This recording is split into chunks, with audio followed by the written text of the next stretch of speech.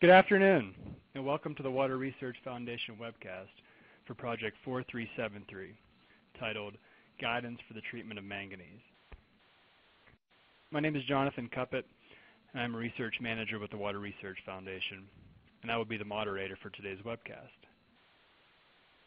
Today's webcast will present the results from this recently completed project related to manganese control. This project produced a comprehensive and cutting-edge resource on the management of manganese in source water and within the treatment plant. This information is all available in an easy-to-navigate manual that is intended for water quality managers, treatment operators, and design engineers. This webcast will provide a snapshot of the contents of this practical manual, which is based on input from industry experts and is supported by utility case studies. The final report from this project was published on April 30th and is currently available to subscribers through our website for download. And the easiest way to access this report is going to be to enter 4373 in the search toolbar on our homepage. From there, you will be directed to the results page, and following that, you will then be directed to the project page, where you have the opportunity to look at the executive summary, download a PDF of the report, watch the webcast when it is available in the next few days. And also for this project, we do have a hard copy of the report available. And to receive a hard copy of that report, um, on the project page, if you click on the shopping cart there, um, as indicated by the red oval, you will be directed to um, sign up and to receive a hard copy. If you're interested in manganese, the Research Foundation does have a range of resources available to help you. And the easiest way to access these resources is to simply type in manganese um, on the home page in the search, search box. And for example, if you would do that, uh, the, the search results page uh, shows here there's about 21 projects and a variety of other resources available for you. Um, in the center there, there is a currently a literature review available um, for a project that's looking at leg legacy of manganese accumulation in the water system. Um, so I would just encourage you to come to our website if you have uh, questions or looking for resources on manganese and see what uh, types of resources we have available. And just for your information, our website does uh, organize resources by the different icons. So as you're navigating, just something to keep in mind. As you can see there, the computer screen indicates a webcast, the wrench indicates a web tool, and the cogs indicate um, a project. So as you are moving around, you may see these icons, and those will show you what types of resources that um, are available. In addition to today's webcast, and the availability of the report, the Foundation and the authors would like to take um, this opportunity to offer you um, another opportunity to talk about manganese. The 2013 ACE Manganese Mingle is going to be at the Research Foundation booth at ACE. It's going to be held on Tuesday, June 11th from 11 to 11.30. And what this is designed to do is the presentation today is really just going to scratch the surface um, with some of the things that are in the report and some of the knowledge that the authors have. So we want to provide a, another follow-up opportunity for folks to uh, talk with the authors, talk with their peers about some of the manganese issues that they're having, some of the ways that they are solving them, um, and, and, just talk about manganese um, with some other folks. And there will be a complimentary hard copy of the report there for anyone that does show up. So uh, we encourage you to take advantage of that opportunity. It is free. You don't have to register. You just show up. More information will be available at our booth, but there, are, um, there is the information on where and when it's going to be held. And now I would like to introduce today's three presenters.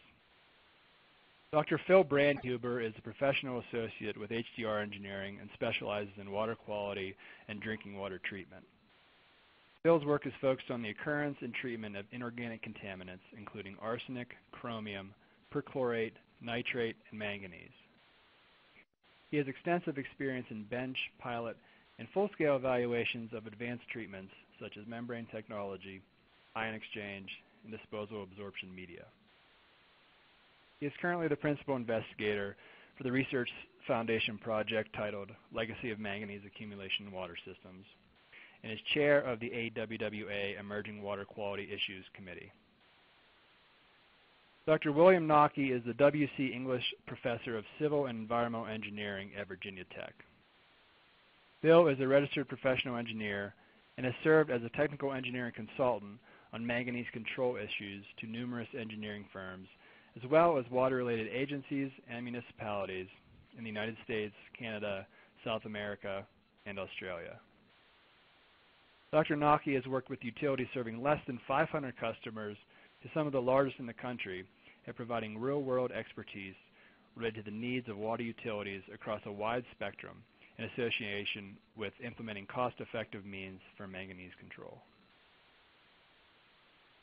Dr. John Tobiason is a professor in the Department of Civil and Environmental Engineering at the University of Massachusetts. John is a registered professional engineer and has over 30 years of experience teaching research in physical and chemical aspects of drinking water treatment. He has conducted extensive bench and pilot scale studies that have included manganese control as an integral part of overall treatment. In a 2008 Water Research Foundation project led by Drs. Tobiason and Knocke focused on manganese oxide-coated filter media for control of manganese. Before I turn this over to the presenters, I want to remind viewers that following the presentation, there will be a question and answer period. Viewers can enter their questions directly through the webcast page during the presentation. In addition, and to gain feedback on the value of this webcast, there will be three survey questions that will pop up on your screen after the question and answer period is over. So please take the time to answer these questions. And with that, I'd like to introduce the first speaker, Phil Brandhuber. Thank you, Jonathan. Jonathan, this is Phil Brandhuber from HDR Engineering. First, I'd like to thank everybody for attending this webcast today. It's certainly a topic of interest for the researchers and I hope for the people that are in the audience. Before I get going into the presentation itself, I'd like to recognize people that have participated in this project, particularly the utilities that we worked very closely with. These include Westminster, Cheyenne, Newport News, Aquarion Water, MWD of Southern California, Sioux Falls, and the City of Fort Collins.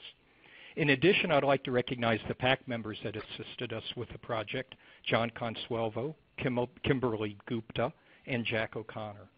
The final thing I'd like to say about this as well is uh, you'll see Sarah Clark uh, was a large contributor to the project. She was unable to participate in the call today, but I certainly don't want that to take away from the fact people recognizing the contribution that she made to this project. In terms of the presentation that we're going to do today, really it's divided into three parts. The first part of the presentation will give us an outline, basically, of what we have in the manual. The second part of that is a more comprehensive presentation trying to let folks know what we think are the important points that are important for the management of manganese in drinking water. These are the key issues that we tried to address within the manual. And then the final part of the presentation will be the question and answer session that Jonathan talked about. So what we're hoping with this presentation today is that the audience can walk away with a clear idea of the key concepts of manganese management, as well as hopefully interest in the manual and a willingness to go ahead and take a look at what we have to say about this topic. So with that, I'd like to start with the first part of the presentation, just talking about what we did with the manual and what our basic objectives of the manual were.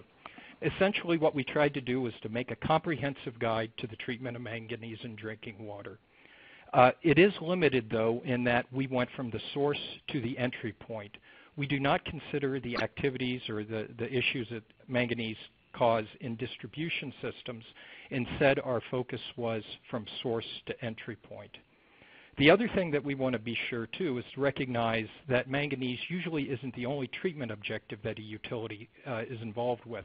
And we spend a good deal of time within the, within the manual trying to stress how the management of manganese is integrated into other treatment objectives. And as the slide says, our intended users are water quality managers, operators, and design and process engineers. So with that, let's take a look at you know, some of the features of the manual. I certainly want to emphasize it's not a literature review. We did not try to write a tome on manganese, what we tried to do is put, to some, put something together that was comprehensive and useful for various users. The other thing that we did is we relied heavily on case studies to assist us in illustrating the points that we make in the manual. And I think you can see here we have a variety of case studies that we looked at. And I don't intend to go through these in detail, but it does give you an idea of the type of things that we looked at. How to run control processes appropriately, how to control manganese in source waters, how to control manganese in recycle streams, how you balance manganese requirements with other regulatory requirements. Uh, the final case study, how you go through a process of selecting an oxidant. So each of these, the idea of the case studies were to provide some practical experience from other utilities that utilities can use as a guide for uh, treatment. Now on the next slide, I, again, I don't intend to go through this with great detail, but I do want to outline what is in the manual itself. Essentially, the manual consists of seven different chapters, and what we tried to do with that is have a logical progression that takes, if you're dealing with a manganese problem, that takes you through the process that's necessary to determine what's the appropriate solution for that. We certainly, we have an, uh, uh, uh, the first chapter looks at the introduction to manganese, gives some information on occurrence and uh, uh, health effects and treatment goals. We have a chapter that looks at the science of manganese, stressing the importance of understanding both the chemistry and the microbiology of manganese as being important in selecting appropriate treatment solutions. We also spend some time looking at the sources and the causes of manganese. Why do you get manganese in your water, and where does that manganese come from, and why does it vary?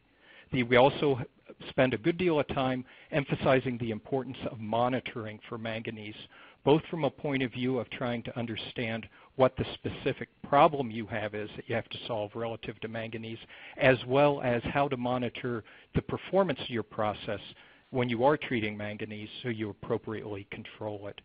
We also look at ways of evaluating source water control for manganese. Are there appropriate techniques that can be done to prevent or to preclude treatment of manganese in your plant? Is there something you can do in the source water that will mitigate the need for treatment? But certainly the, the majority of the, ma the, manual involves looking at treatment technologies for manganese. And in this we review all the major treatment technologies and consider how those technologies should be integrated into an overall treatment process. And as we talked about before, we end up with case studies. Now, to step back from the manual a little bit and to say, you know, what do you really need to know to try to understand how to solve manganese? And I don't think we can necessarily say this is a five-step process, but this is a process that we think naturally people need to go through when they're trying to deal with manganese uh, issues. And hopefully it somewhat follows the same outline as what we put together in the uh, uh manganese manual certainly when you're trying to solve a manganese issue, there are several questions you need to ask yourself or several issues you need to understand. You need to understand the basics of manganese. You need to understand where manganese can come from. You need to understand what data needs to be collected to size up your problem. You need to understand the performance of the control options that are available to you. And you need to then integrate those options into an entire process that mixes in and matches into the requirements for your system. So what we're going to try to do with the rest of the webcast is move away from discussing specifically what's in the manual and instead talk about what these key issues are that we think are important for understanding how to treat manganese and how to deal manganese in your water. So with that, I'd like to uh, move on to uh, uh, talking basically about some of the basic information that's important to understand about manganese before you go off and trying to implement a treatment solution. From the regulatory environment, uh, from a health effects point of view, I think it's pretty clear. There have been some recent studies that have raised some concerns about the impact of manganese on the development of uh, children, uh, uh, the intellectual development of children.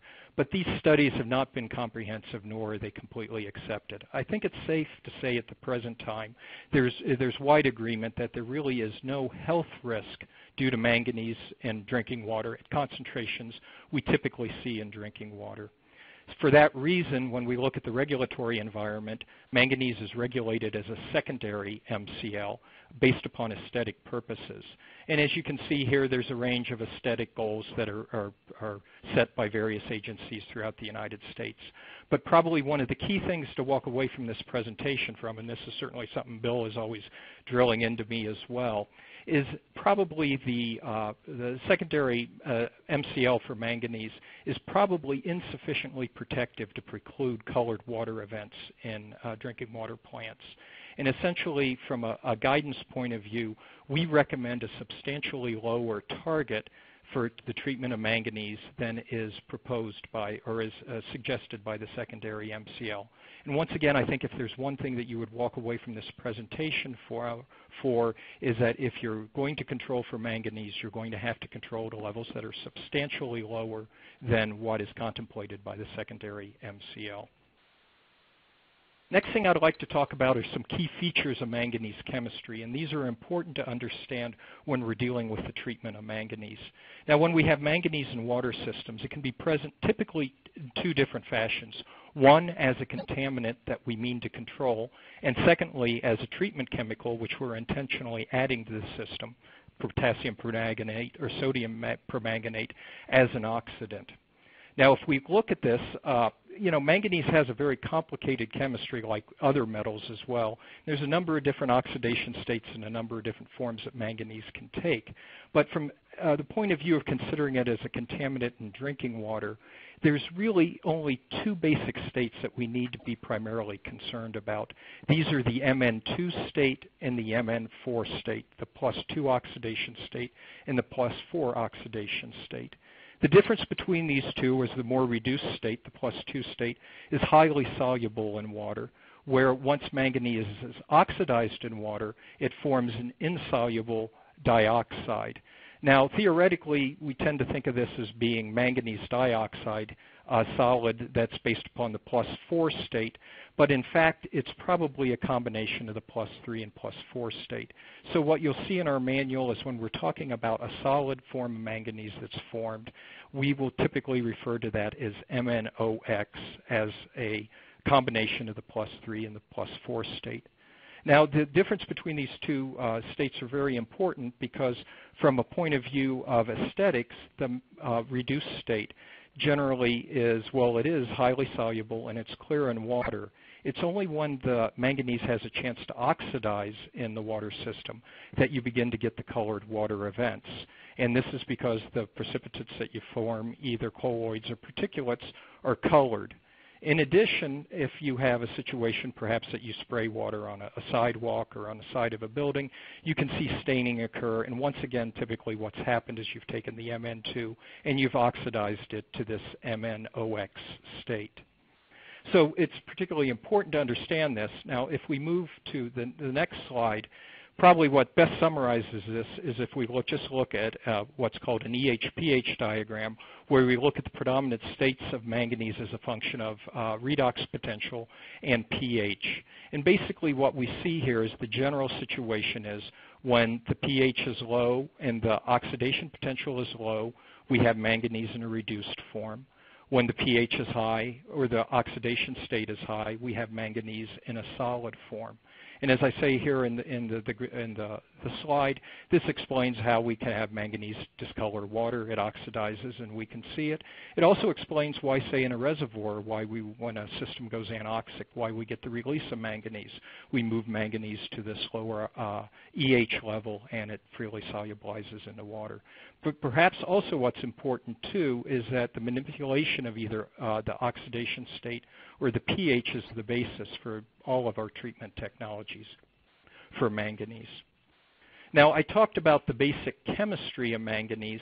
The other thing that we need to lay on top of the chemistry is to recognize that manganese is also active from a microbiological point of view.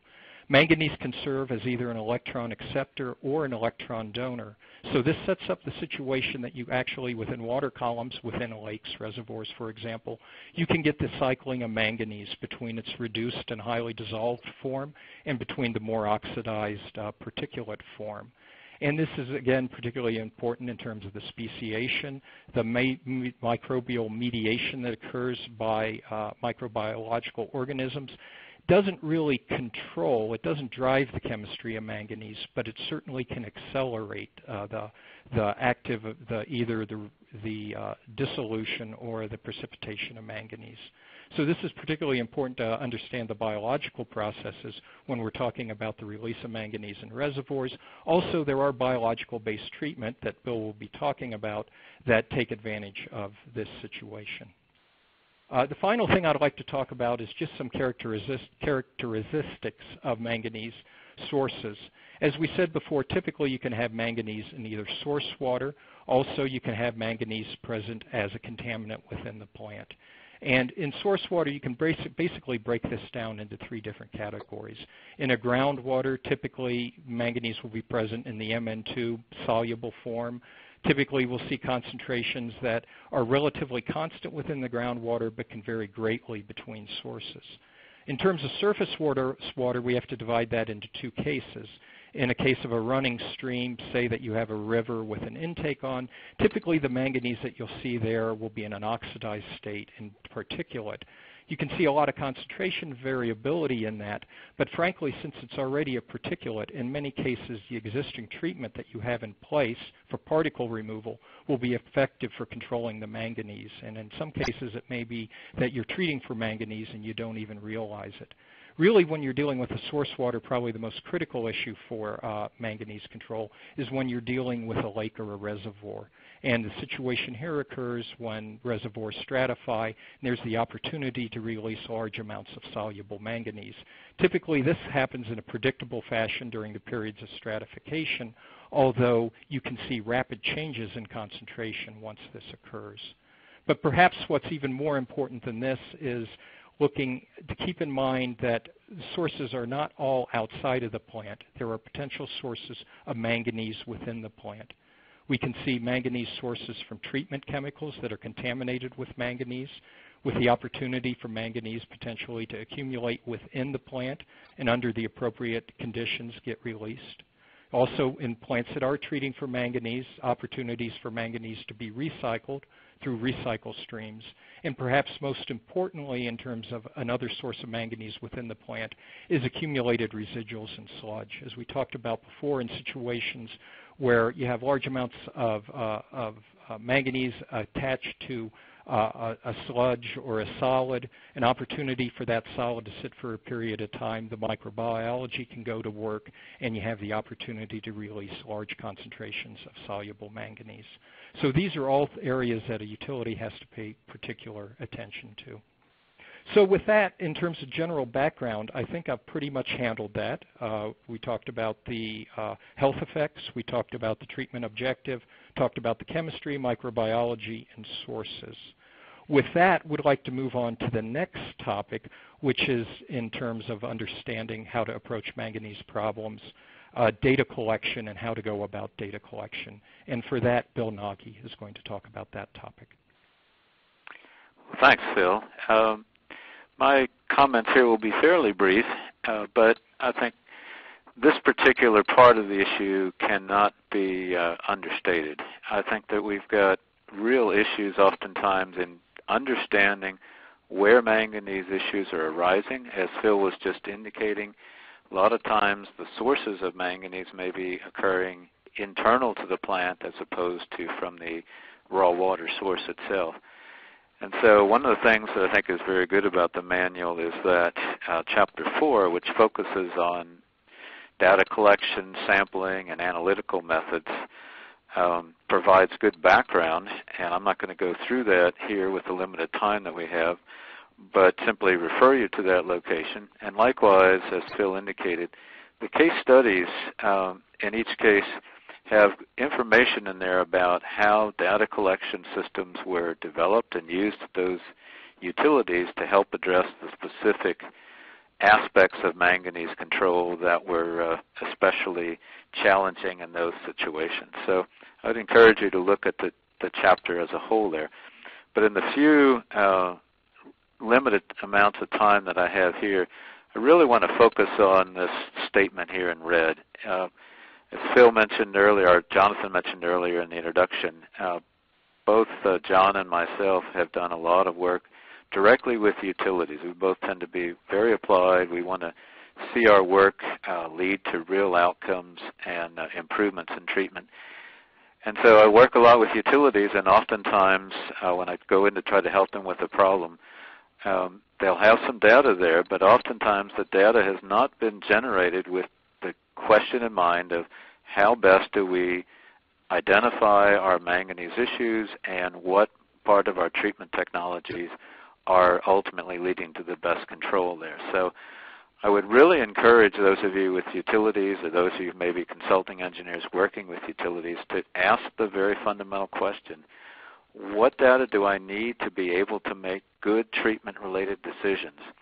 And one of the key aspects of that is the speciation of manganese, specifically between soluble manganese and uh, particulate manganese. A lot of time utilities are only measuring total manganese coming into a plant or leaving a plant, and that doesn't tell you anything about what portion of that material is soluble. It's a soluble material that ultimately you're treating either by adding oxidants or microbially oxidizing it Particulate manganese doesn't need an oxidant. That's the kind of stuff that you remove by coagulation, sedimentation, filtration, and the like. So knowing what part of the manganese in your system is soluble is very key.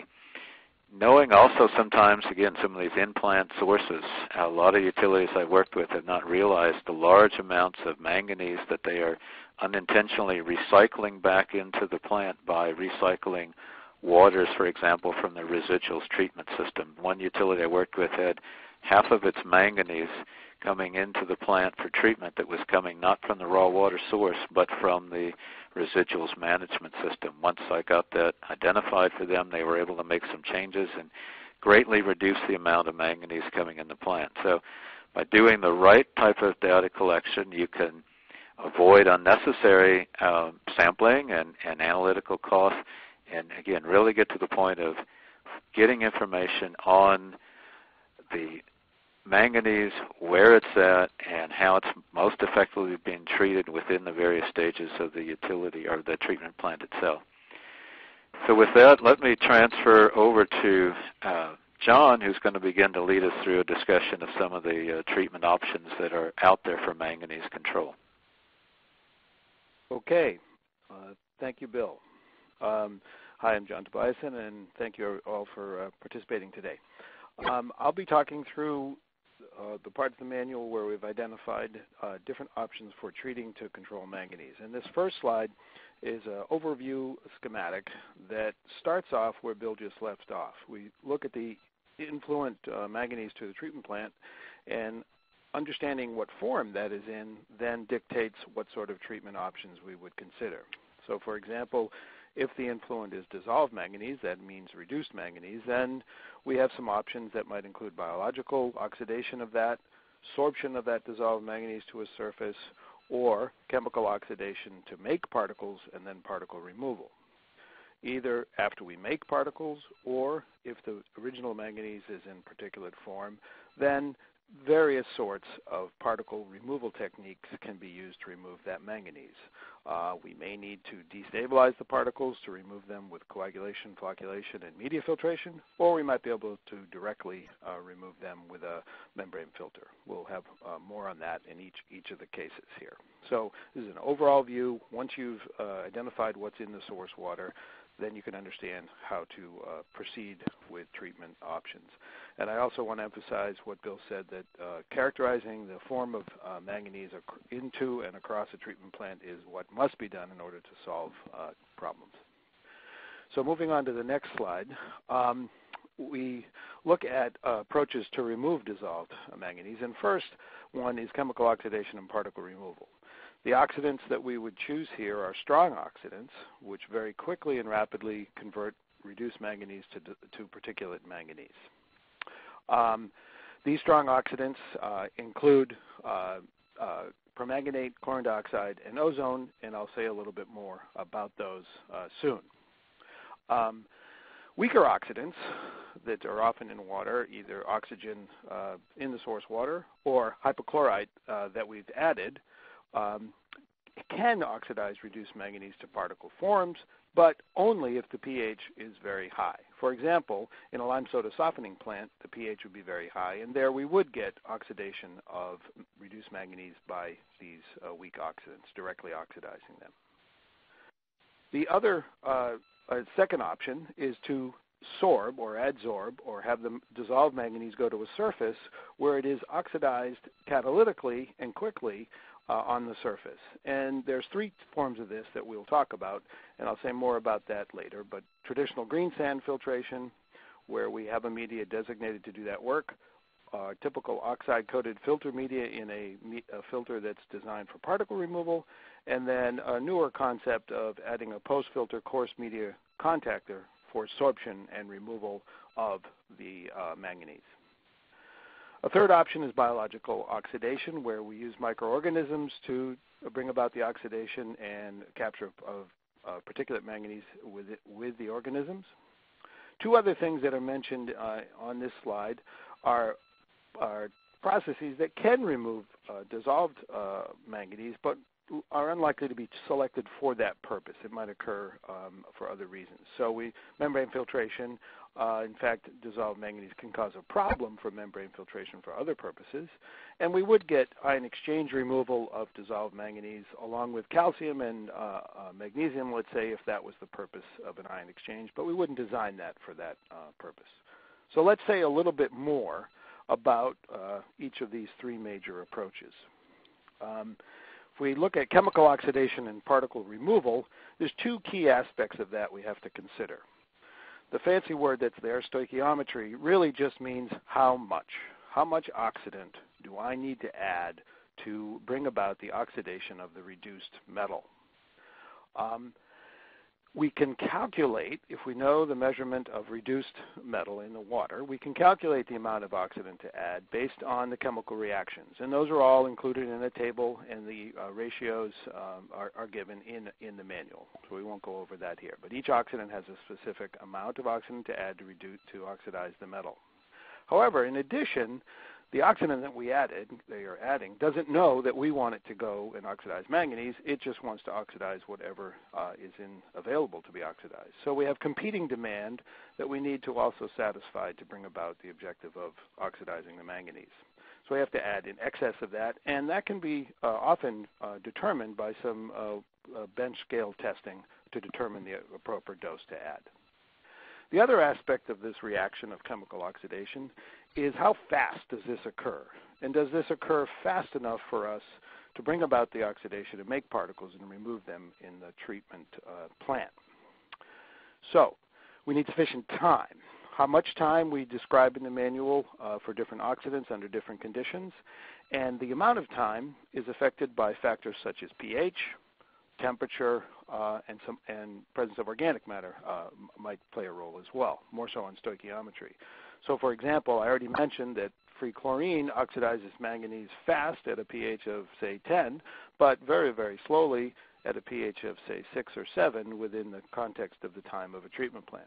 Unfortunately, free chlorine oxidizes manganese at the time scale of a day or two or three out in the distribution system, hence leading to problems. Thus, that's why we need to remove or oxidize that reduced uh, manganese and remove it.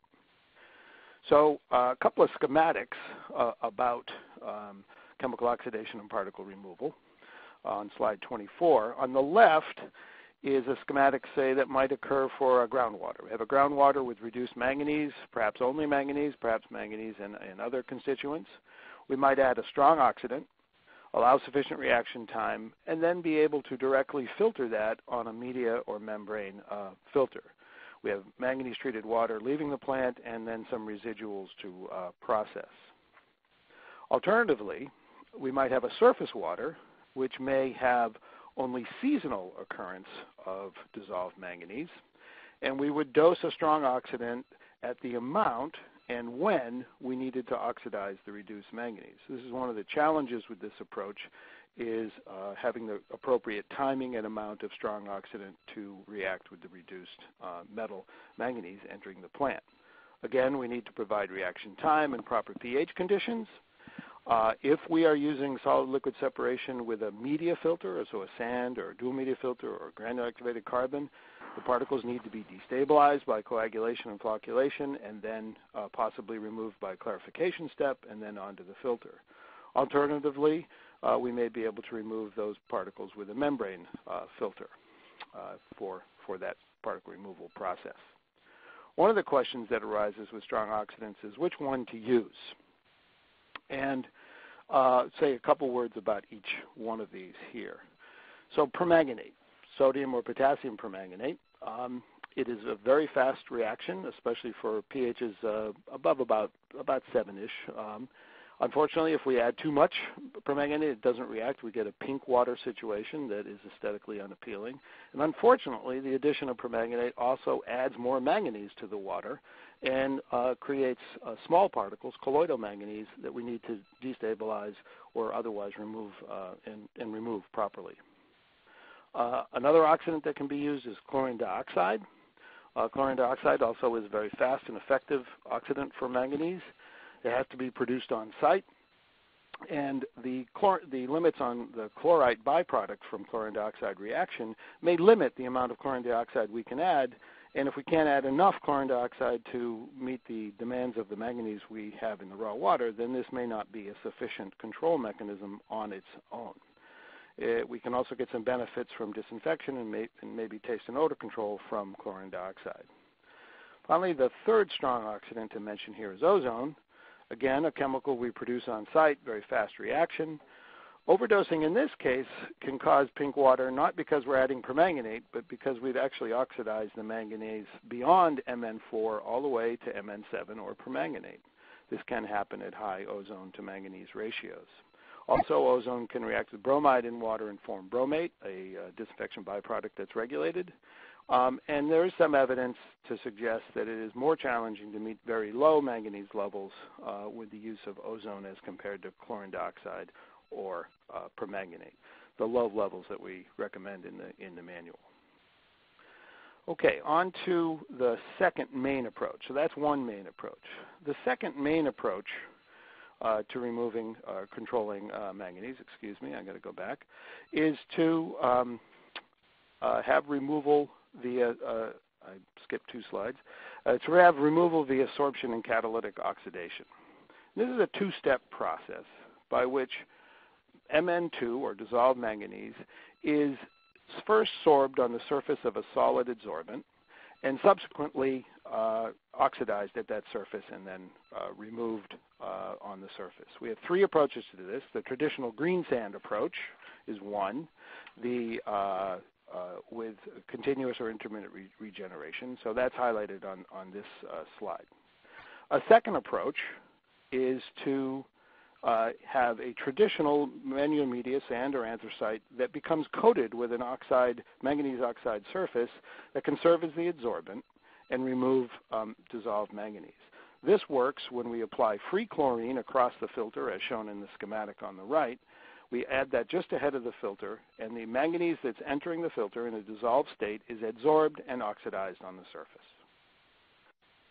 The third method for uh, sorption and oxide uh, media is to have a contactor that we add after the filter, so after we've removed particles, uh, and avoid the addition of chlorine when there may be more organic matter present and reduce the formation of D- DBPs by adding this contactor and um, uh, after the granular media or membrane filter for particle removal.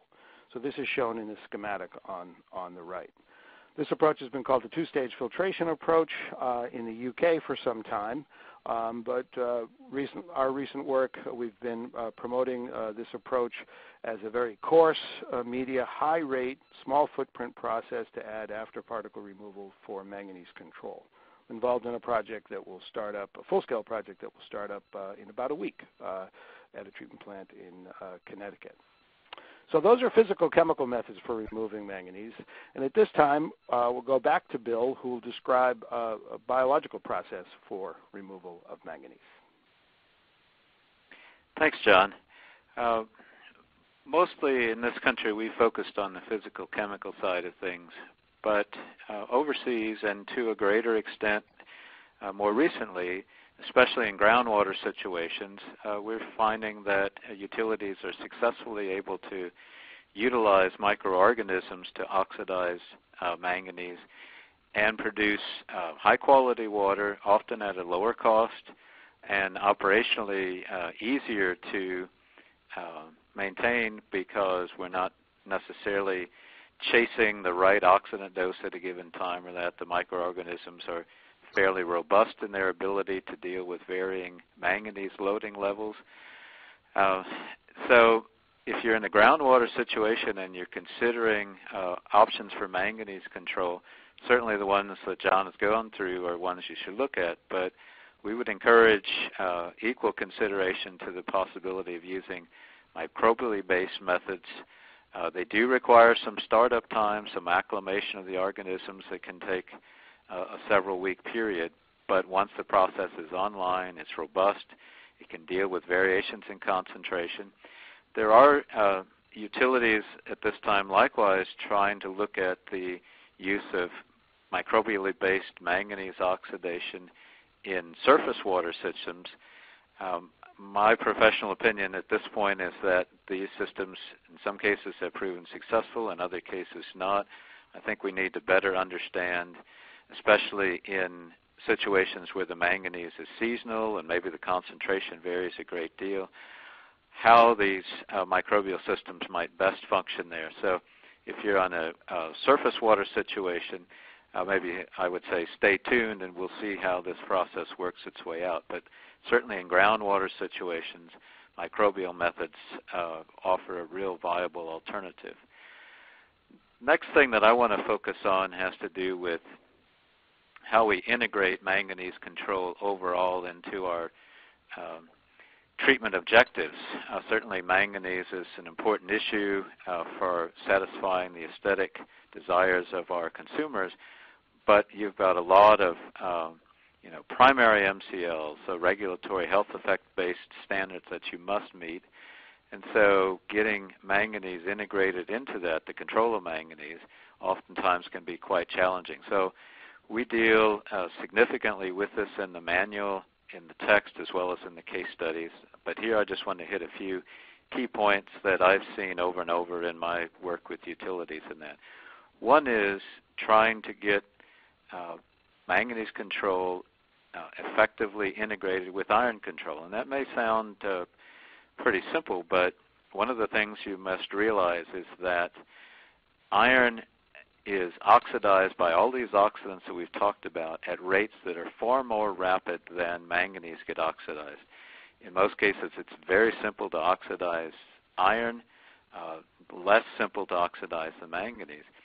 And so uh, oftentimes one of the issues, which sounds simplistic but can be very important, is simply what oxidants you target to each metal, and you can oftentimes get iron oxidized with things like oxygen and, and free chlorine that, as John said, are not particularly effective for manganese.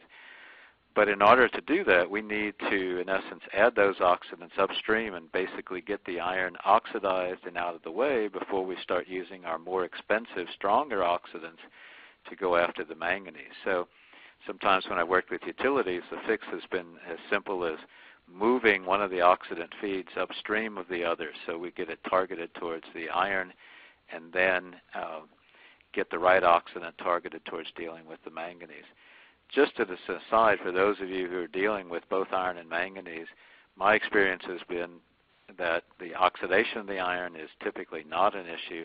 That most of the time when plants are, are not doing well on iron, it's because they're not doing a good job of ultimately catching either through sedimentation or filtration the oxidized iron solids that come along.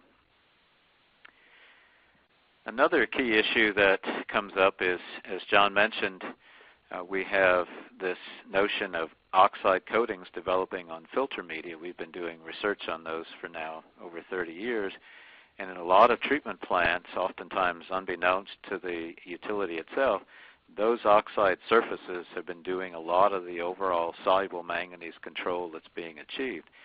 But sometimes for things like DBP formation or the, wanting your filters to be able to go biologically active, you end up eliminating free chlorine across the filters. So this might achieve, help you achieve certain treatment objectives, but from a manganese control standpoint, it does a couple of things that are of concern. One is uh, certainly if you have new media, it uh, doesn't allow these type of coatings to ever develop because you need the chlorine there to ultimately oxidize the manganese as it's being absorbed on that media surface. So you won't build these coatings. A lot of utilities I've worked with in the last decade previously have had chlorine across their filters, but for one or more reasons they've decided to remove that. That situation can actually lead to uh, release of manganese from those coatings. So sometimes plants didn't have manganese issues before, they take away the uh, chlorine, and now all of a sudden they've got water discoloration complaints that can be quite substantial. So if you're considering removing chlorine from your filters and you've had it over time there, uh, you want to at least do that with a degree of caution to make sure that you're not going to create a significant manganese release, release issue when you make that change. And as is mentioned here, and as John mentioned, this is where this notion of a kind of a post-filter contactor where we can put that type of surface on a larger size media that focuses purely on manganese removal uh, is a treatment option that we think makes a lot of sense. Many utilities will also, for taste and odor concerns, remove the uh, anthracite coal in their dual media filters and replace it with GAC. That can be quite effective for taste and odor matters, but GAC will not allow these type of oxide coatings to form, uh, mainly because the GAC will eliminate the chlorine, so you just don't have an oxidant present. So sometimes if you replace the, G, the uh, anthracite coal with GAC, you'll control taste and odor problems, but now find yourself with some manganese control issues that you have to deal with.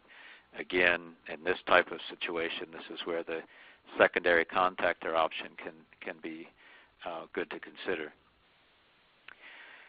A lot of treatment plants are going to ozone and biofiltration uh, for decreasing the amount of organic matter in the water, stabilizing the water two issues here that I'd like to briefly mention. One is that uh, if you're adding ozone to water right in front of a filter that contains soluble manganese, you will get some oxidation of that manganese occurring right at that point. The challenge of that is that that uh, manganese dioxide or manganese uh, particulate material is often very, very small in size. We typically refer to it as colloidal material. And that material is likewise highly negatively charged. And in a lot of instances I've seen where that type of material will just pass right through a filter and not be well retained. And so you end up with elevated manganese levels and potential for consumer complaints. In that situation, an effective fix to that is often to add a small amount of a coagulant like polyaluminum chloride or maybe a cationic polymer to help destabilize those manganese colloids and actually get that material uh, better retained within the filter itself.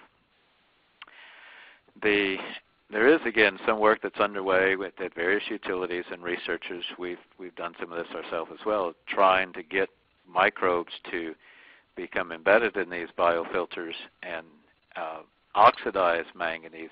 Again, at this point, I would say the reliability of that process is, is not as good as I would like to see it. One final uh, integration issue, and that is um, sometimes uh, the suggestion will be made to uh, use certain type of, of uh, proprietary chemicals to clean media. I've talked to a lot of utilities who've been um, told that they need to clean their media up.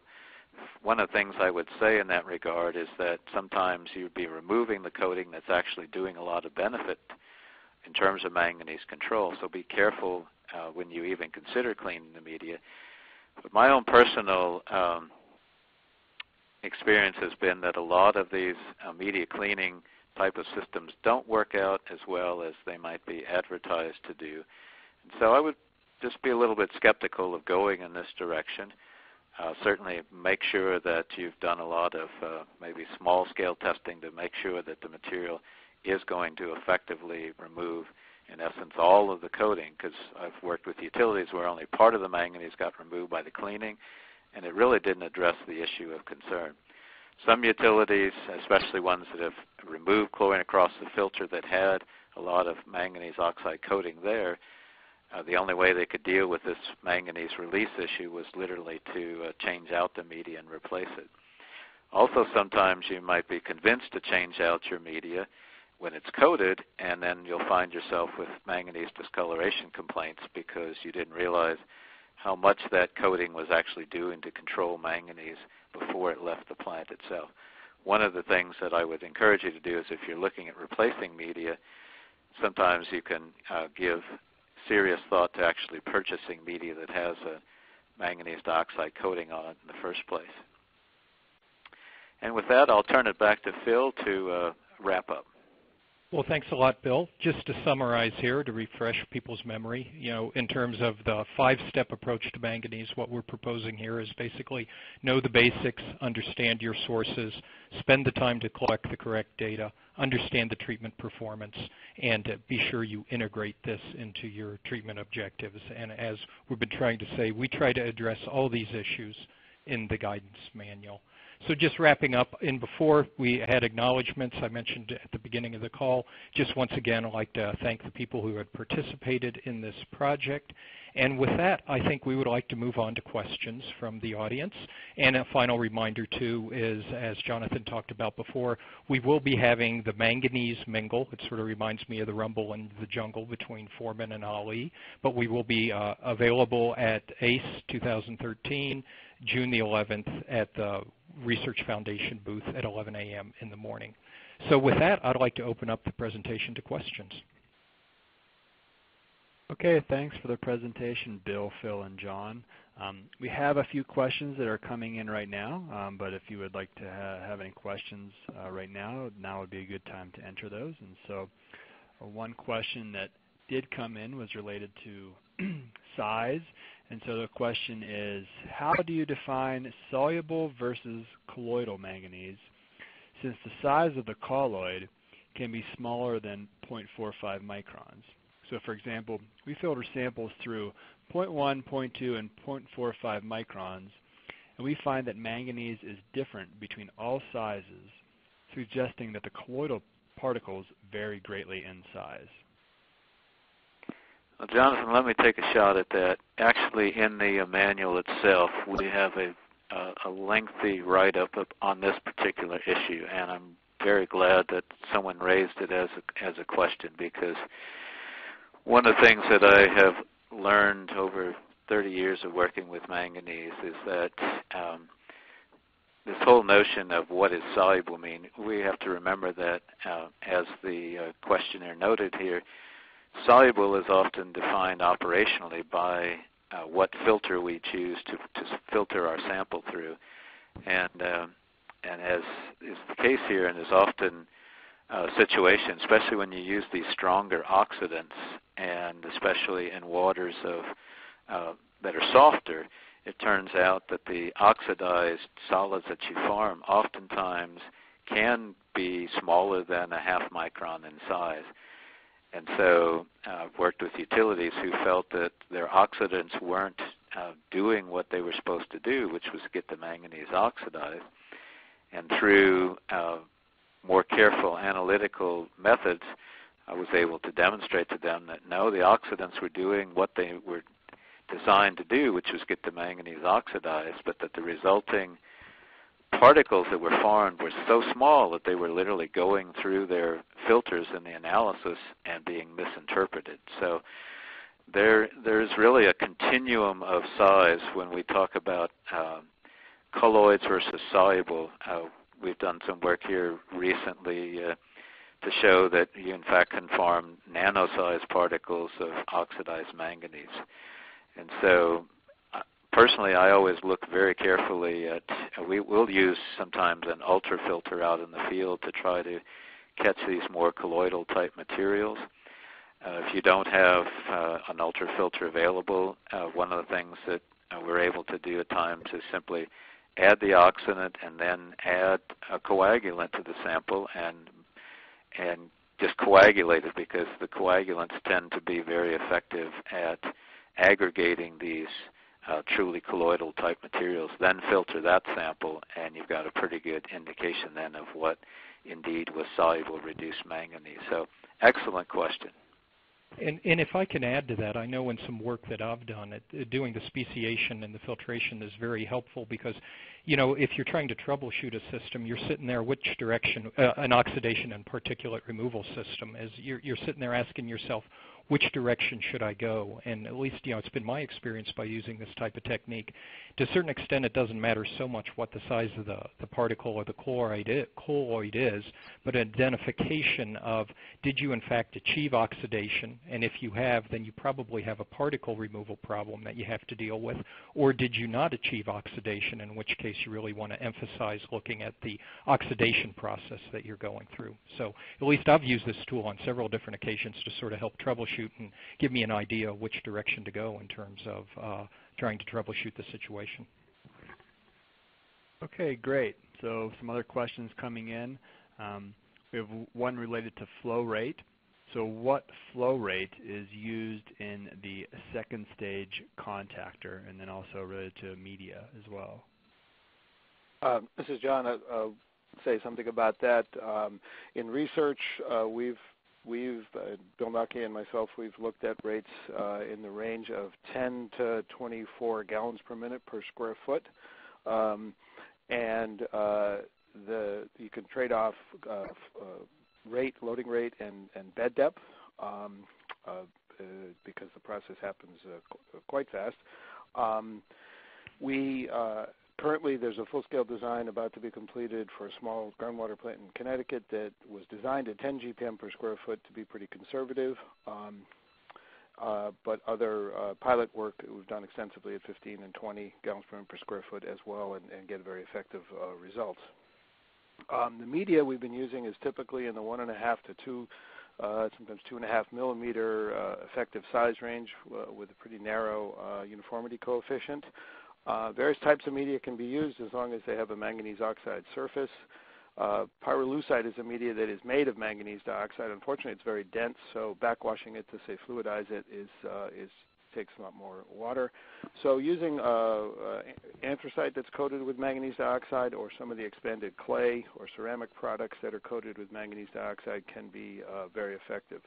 Currently using a expanded clay uh, ceramic type uh, product with a field coated uh, coating of manganese uh, dioxide. One thing I just want to add to John's comments there is that I want people to understand that when we're talking about these contactors, it's a, it's a new concept in some ways, but what we're effectively doing is taking this oxide surface that had been on people's filter media for decades and simply taking advantage of its manganese uh, control capabilities, but moving it out of the filter into this later contactor stage because again we're trying to often ask filters to go now biologically active or all these types of things that I mentioned. So we're now just trying to build a process that is solely focused on manganese uptake, which tends to be quite um, rapid from a kinetic and so hence that's why we can use these larger size media, very high hydraulic loading rates without a lot of, of head loss to them because the uh, process is very effective for manganese removal itself. Okay, great, thanks. Um, another question regarding uh, toxicity. Uh, is there a certain level that maybe manganese is uh, toxic to bacteria? The answer to that, I think, from a practical standpoint, would be the type of levels of manganese that we're typically looking at in drinking water situations would be below any levels of toxicity. So I've seen uh, biologically based systems that are operating at perhaps up to a milligram per liter of soluble manganese without uh, toxic effects on the bacteria. And, and most groundwater situations that I've looked at the application are, you know, a half a milligram per liter or less, and there are no indications there of a of toxic response. Okay, so another question coming in related to filter media. So this question is, is there a way to test the filter media to to, determine, to determine how much manganese coating it already has? Um, this is John. Uh, Bill Knocke's uh, 1990 uh, AWRF report and subsequent work we've done in 2008 and various papers describe a process in which uh, using an acidic reductive dissolution process, we can dissolve the manganese from the coating of, the media, from the media and measure how much is there. So yes, the, the process is to collect a small, a gram of media, uh, apply this process, uh, dissolve the manganese from it, measure the amount of manganese, and then you have the ratio of the, the manganese to, uh, to media that you have. Uh, we also describe in our 2008 work a process to describe the uptake capability of that uh, coated media if you want to investigate that. And, and I think we do in the manual itself uh, actually have that uh, extraction procedure yes. described therein. Okay, great. So we're running out of time here. I, I do have two more questions that I want to ask. Um, we're coming up on um, time to be over, but the next question is, related to uh, another question related to treatment.